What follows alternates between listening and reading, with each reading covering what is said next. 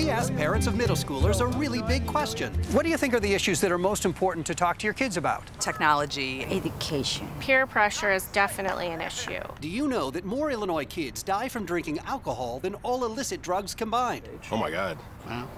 This shagging. Alcohol damages a developing brain and can cause an inability to study, irresponsible decision making, and permanent memory loss. You're talking to your kids about everything else. Add the dangers of alcohol to the conversation.